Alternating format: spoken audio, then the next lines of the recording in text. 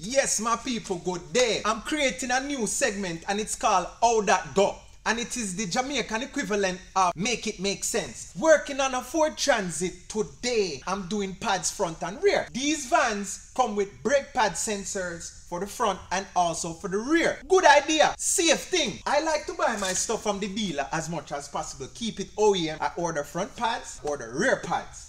Just pick them up from the dealer. But check it out. Front pads, open the box, you get a nice little baggie with the Motorcraft on it. Support Ford, right? It comes with bolts and it comes with brake pad sensor and it comes with clips. Look at the nice brake pads. Coming all bubble wrap and all these things. Yo, you can't beat that with a stick. Nice little logo.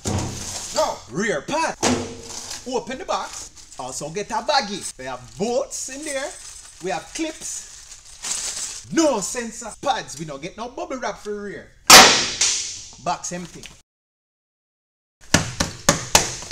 Now you tell me, why is it that the front pads come with sensor so you can do the job complete and the rear pads don't come with se- same van, same manufacturer, same parts apart? All that go. Make it make sense. Have a nice day.